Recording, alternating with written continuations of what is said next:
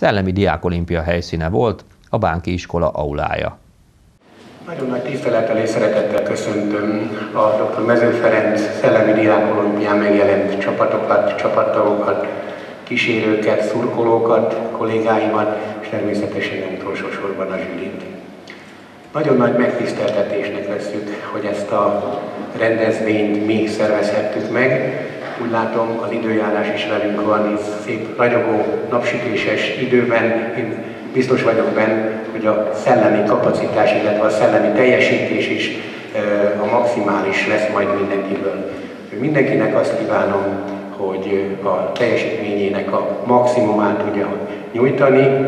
Remélem mi, mint rendezők, minden lehetőséget, minden adottságot teljesítünk, teljesítettünk eddig, és ezzel is hozzájárulunk akkor a sikeretekhez.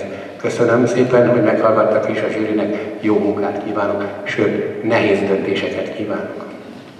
Főtitkár asszony, mióta szervezik ezt a Szellemi Diák Olimpiát, és mi a jelentősége igazából?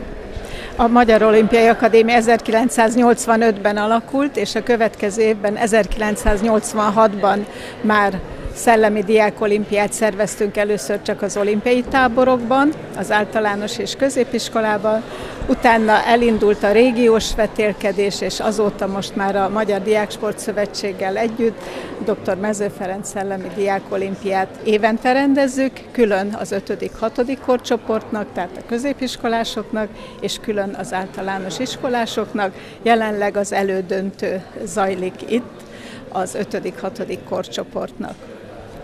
Milyenek a tapasztalatok, hiszen már vannak évek óta tapasztalatok, milyen a részvételi arány, hogyan lehet toborozni a gyerekeket?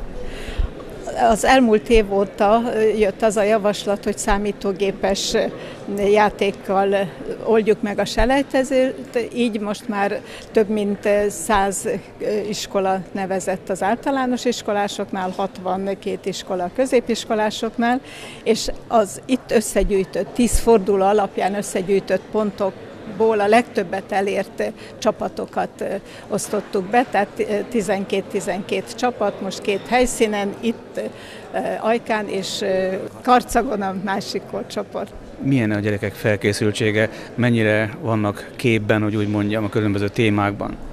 Hát nagyon nehéz és nagyon mély merítést adtunk a gyerekeknek, téli olimpiák, nyári olimpiák, a csapat és egyéni sportágakat megjelöltük, tehát ezt a versenykírásban minden évben váltogatjuk, tehát az sem lehet nekik, hogy amit tavaly megtanultak, azt most tudják, mert teljesen más a témakör. Erről mindig az akadémia tanácsa, Szakály Sándor alelnök úr a történészünk, tehát az ő segítségével jelöljük meg. Alelnök úr, ahogy az imént hallottuk főtitkárasszonytól, gyerekeknek nagyon széles körű ismeretekre van szüksége ezen a diákolimpián. Milyen feladatokkal kell megküzdeniük, milyen típusú, milyen tartalmú feladatokkal? Hát gyakorlatilag ugye az ember arra kíváncsi, hogy mit tudnak az olimpiákról, és az abban az értelemben rendkívül széles körű versenyszámokról, sportolókról, helyezésekről, eredményekről kell ö, számot adni, és azt kell mondanom, hogy gyakorlatilag a felkészítő tanárok segítségével rendkívül felkészült csapatok és rendkívül felkészült diákok vannak. Meg kell mondanom, hogy néha az ember megdöbben azon az ismereten és azon a tudáson, amivel rendelkeznek ezek a fiatalok, és ez nyilván egy elkötelezettséget jelent a számukra.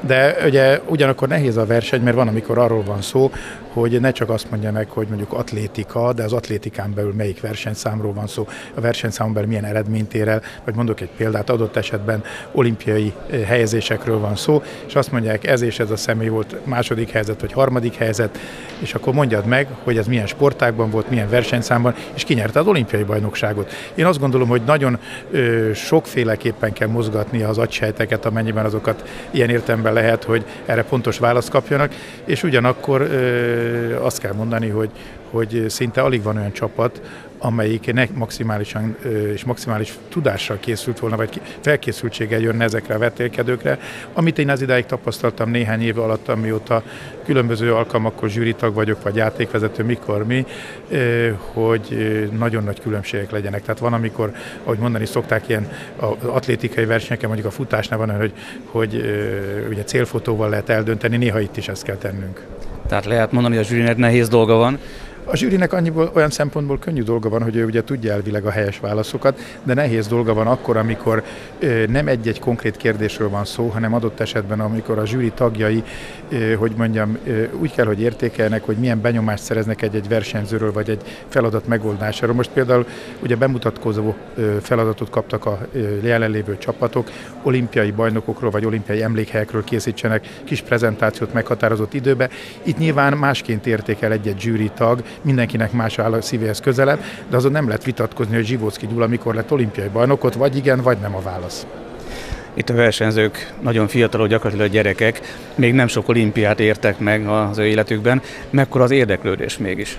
Én azt tapasztaltam, hogy általában az érdeklődés megfelelő, természetesen soha nem lehetünk elégedettek, én azt gondolom, hogy minél több iskolát és minél több gyereket kellene megmozgatni, és ez a megmozgatás nem csak szellemi, értelemben értendő, hanem gyakorlatilag ugye a sport területén is, bár ha arra gondolunk, hogy dr. Mező Ferencről neveztük el ezt a vetélkedőt, ezt a diákolimpiai versenyt, akkor azt kell mondanunk, hogy Magyarország egyetlen szellemi olimpiai bajnoka megfelelő, hogy így mondjam, nevet adott ennek a vetélkedésnek, és én bízom abba, hogy azok a testnevelő és történelmszakos kollégák, vagy csak a sport iránt elkötelezett tanárok a középiskolában és az általános iskolában egyre több gyereknek a figyelmét for, ö, irányítják rá az olimpia és a sportmozgalom történetére, és független attól, hogy néha megmosolyogják, amikor az ember azt mondja, hogy Magyarország igenis a 20. század és a 21. századi olimpiák történetébe, bár ugye oda kell vennünk a 19. századot Aténnal valóban nagy számít, hiszen egy területében és lélekszámában kis ország olyan komoly eredményeket ér el, mint épp az elmúlt nyári játékokon Londonba,